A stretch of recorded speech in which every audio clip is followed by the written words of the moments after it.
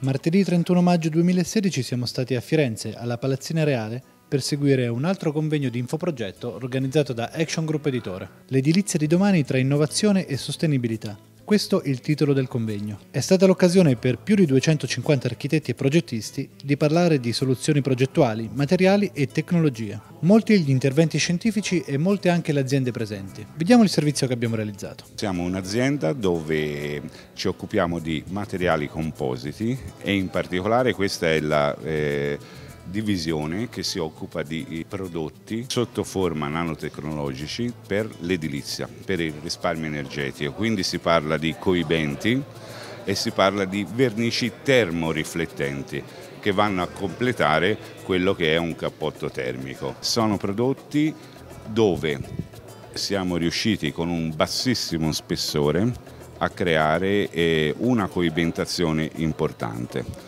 laddove prima si facevano cappotti termici con, eh, invasivi con molti centimetri di spessore, oggi siamo riusciti ad avere eh, spessore irrisorio nel, nel giro di 1, 2, 3 centimetri con, sposati con prodotti estremamente naturali, grasselli di calce aerea, grasselli di calce pozzolana e calci idrauliche.